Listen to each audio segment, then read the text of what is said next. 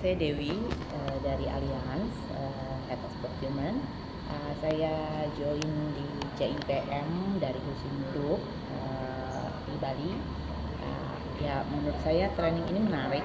Uh, ya, selain sertifikasi internasional, ya dari sisi pengajar dan dari sisi materinya itu memberikan refreshment juga buat kita yang memang sudah terjun secara praktek hari-hari kita mendapatkan lagi uh, beberapa pemahaman uh, bagaimana uh, procurement secara internasional, baik dari sisi buyer dan juga dari sisi kalau kita tuh sebagai supplier menurut saya.